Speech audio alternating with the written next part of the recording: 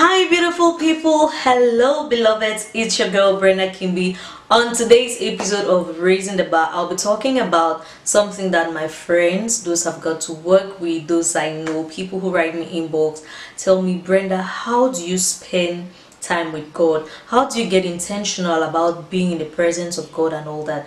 This video is just going to be a snippet. I will definitely do a whole series on how to go about this, but today I just want to give a few tips on how to spend time with God the truth is what i'm about to say is a disclaimer. It may work for me and may not necessarily work for you. This is just some eye-opening tips. You can customize what i'm going to say to suit your own reality because we have different lives different schedules diff we have so many things that are just different. So you just have to take what i have to say and see how you can implement it to fit how you relate with God. So the first thing is on spending time with God, you have to be intentional about it. In life, nothing just happens. You have to be intentional about waking up, taking that conscious effort to spend time with God. So it's not like it's some miraculous thing or it's some sort of rocket science that just happens like that. You have to be intentional. That is the first tip I'm going to say when you are close to someone or when you want to get closer to someone or when you want to know someone better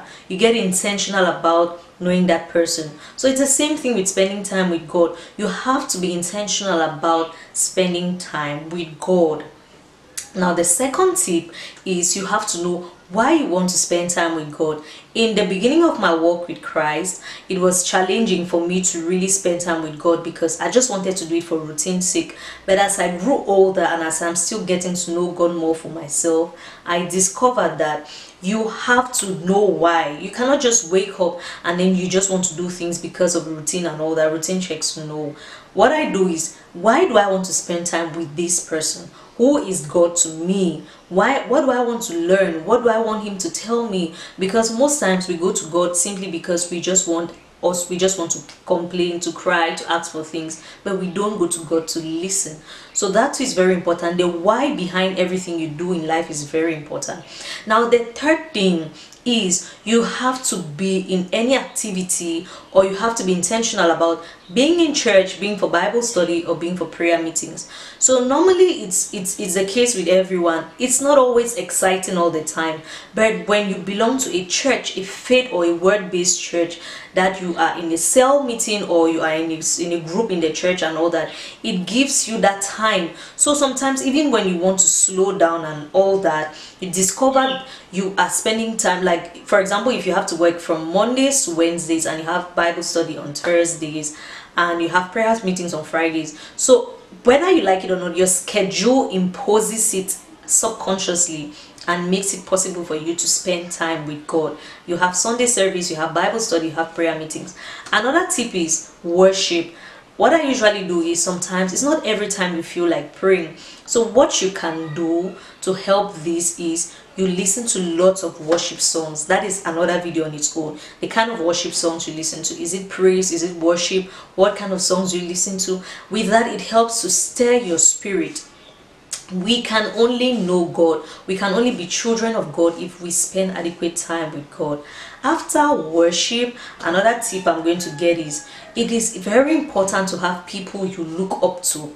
People who can tell you, Brenda, what you're doing is not right. You can go this way. So with me, I have cell leaders, I have friends, I have people who I think and I know I have discerned that they are ahead of me in the faith. So because of who they are and the positions they occupy and all that and our relationship it is easier for me to for them to tell me oh brenda can we do this program? Can we do this? Can we go for this activity and all that? And that is why your circle and the kind of people you keep it's very important. I have given a few tips but the truth is let us take it out of that spiritual side.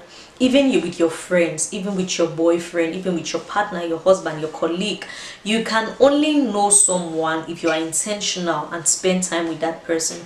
That is how god is. And that is why it is written in the bible that my sheep knows my voice and i know the voices of my sheep you if you can never listen to god talking to you if you don't know his voice. How do you know his voice? You know his voice by spending time studying the word spending time with him meditating on this word do all you can to know him to love him to nurture that relationship.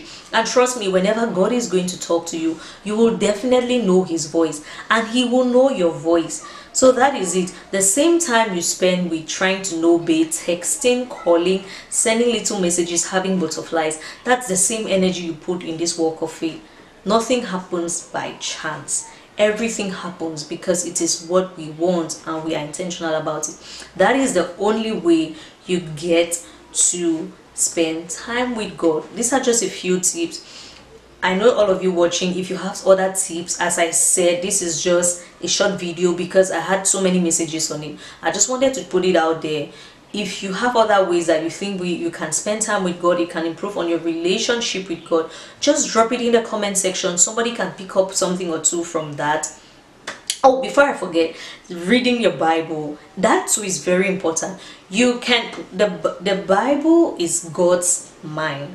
I say the Bible is a fragrance of God. You can only know God by studying the scriptures. The scriptures were inspired by the Holy Spirit. So when you study the Word of God, when you read the Bible, that is how you get to spend time with God because the more you study the Bible, the more you know how God thinks and the more you know what God wants for your life. So, how to study the Bible is another video, but today we are talking about spending time with God. And reading the Bible is one of the ways we use to spend time with God until next time i hope i helped in this video. I wanted to make it very short but i hope i was able to say something that is going to contribute to your spiritual growth. I'm your girl brenda kimbi keep watching. If you haven't subscribed i don't know what you're waiting for. If you've already subscribed thanks. I love you very much. And if you've not joined the bk nation can you just join the bk nation? Until next time remain blessed. Keep raising the bar. Bye